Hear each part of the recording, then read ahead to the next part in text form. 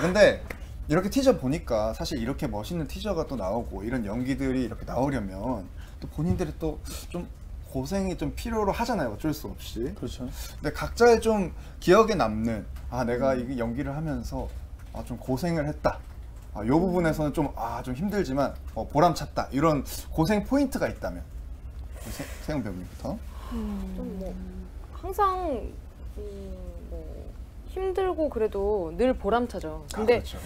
특히 그냥 그냥 좀 많이 힘들었던 순간을 떠올려 보면 그 승윤 씨랑 함께 그 네. 추격하는 장면 굉장히 열심히 네. 찍었잖아요. 어. 되게 열심히 뛰더라고요. 네. 그래서 저도 굉장히 열심히 뛰었거든요. 네. 그때 조금 힘들었어요. 덥고 좀 워낙 빨리 뛰어서 음. 그때 네. 조금 고생했습니다. 저도 사실 그 부분이 가장 사실 하도 많이 뛰어가지고 이 예. 드라마에서. 예, 그뛴 부분이 좀 고생 포인트인 것 같은데.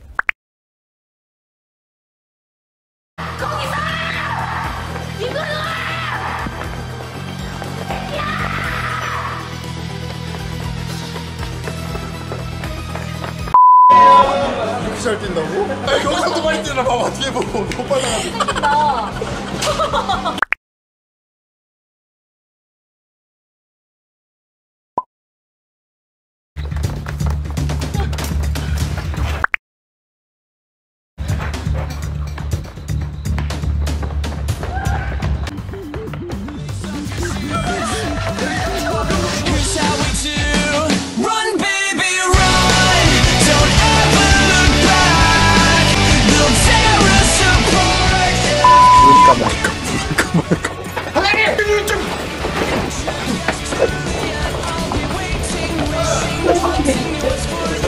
다시 한 번요.